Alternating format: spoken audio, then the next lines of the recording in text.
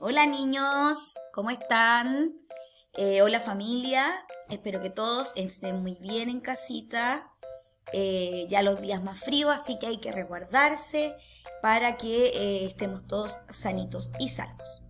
Bueno, como les dije el día lunes, hoy día, miércoles 20 de mayo, en la asignatura de lenguaje, vamos a desarrollar una evaluación formativa. ¿Ya? Es súper importante que la desarrollen para que podamos ver cómo está el avance de este proceso de la lectura y de la escritura. ¿Ya?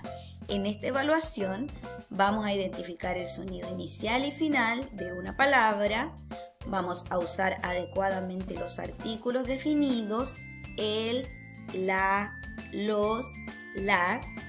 Vamos a ver también y de identificar y distinguir entre un cuento, una adivinanza y un poema.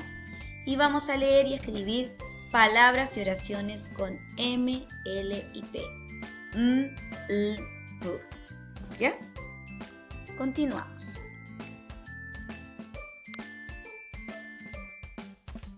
Bueno, recordemos que en las clases anteriores, en este proceso paulatino que hemos estado desarrollando a distancia, hemos conocido los fonemas y grafemas m, l y p. ¿Ya?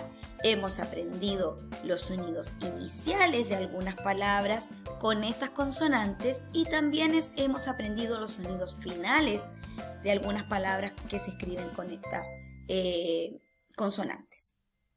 También hemos escrito palabras y oraciones. Eh, hemos escrito y eh, leído palabras y oraciones con estas consonantes. ¿Ya? Es por ello que para continuar con este proceso y ver cómo van avanzando, vamos a desarrollar esta evaluación. Yo sé que lo van a hacer muy, pero muy bien. Así que mucha fuerza, mucho ánimo para desarrollar esta evaluación. Vamos a la evaluación, que está por aquí. Aquí está. Están nuestros objetivos. Hoy es miércoles 20 de mayo. Y eh, decirles que eh, a los papás que ojalá busquen un espacio adecuado, donde no hayan distractores de, para que el niño desarrolle la evaluación de forma tranquila. ¿Ya? Una vez que desarrollen la evaluación, ojalá sea hoy día mismo o mañana jueves, puedan eh, enviármela a mi correo para yo enviarles el reporte y ver en qué estamos más débiles. ¿Ya? Eh, a más tardar la pueden enviar el día domingo.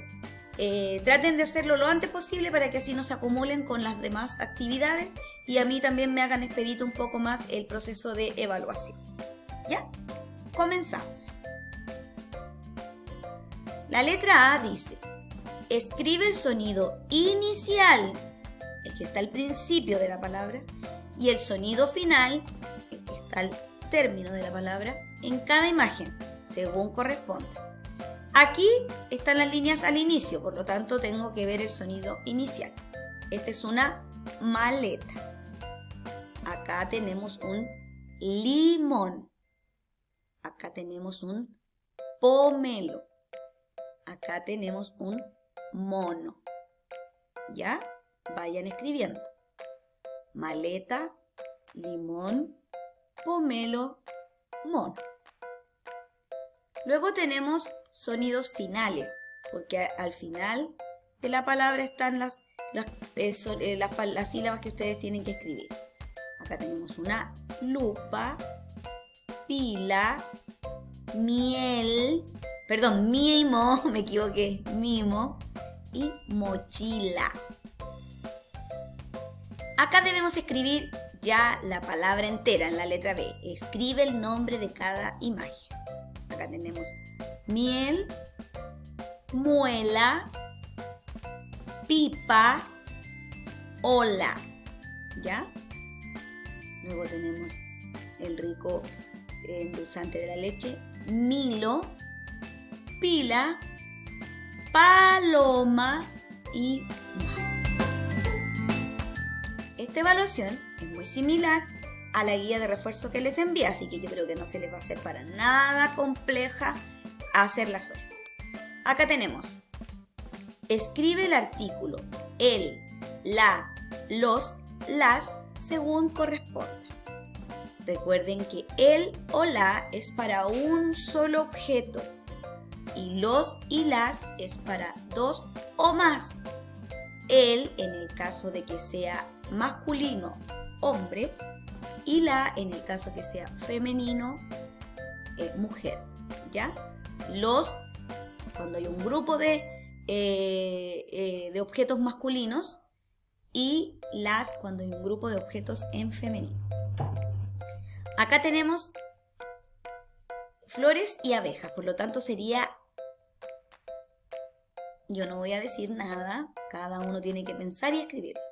Acá tenemos perros, pato, casa, manzanas, pájaros, auto, hormiga, jirafas, helados. Mmm, qué rico. ¿Ya? Más adelante tenemos tres textos que hemos visto hasta el momento. Hemos visto el cuento, hemos visto la adivinanza y hemos visto el poema. De acuerdo a la silueta, nosotros tenemos que distinguir a qué texto se eh, refiere. Lo vemos y lo unimos con su nombre. ¿Ya? Por eso dice aquí, observa la silueta de cada texto e identifica qué texto es, uniéndolo con su nombre. ¿Ya? Por ahí, la mamá Acá hay no se lee bien, pero uno puede determinar o primero partimos por los más fáciles. Acá, por ejemplo, dice, el cielo es de cielo, la nube es de tiza, la cara del sapo me da mucha risa. La luna es de queso y el sol es del sol. La cara del sapo me da mucha tos. ¿Qué será? Y ahí lo unen si es una adivinanza, si es un poema o si es un cuento. ¿Ya? Luego acá dice, llevo mi casa al hombro, camino sin una pata y, y voy dejando mi huella con un título de plata. ¿Quién soy? ¿Qué es? ¿Es un cuento?